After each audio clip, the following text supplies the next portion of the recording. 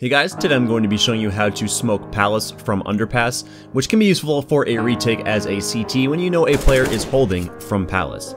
So to throw the smoke, if you're coming from Underpass, just jump up onto this ledge, tuck yourself in this corner and place your crosshair in the corner of the window and the flower pot like so, and do a jump throw. The smoke will land and bloom just as you are getting through connector and should smoke off anybody playing inside of Palace. As always, thank you all very much for watching and see you next time.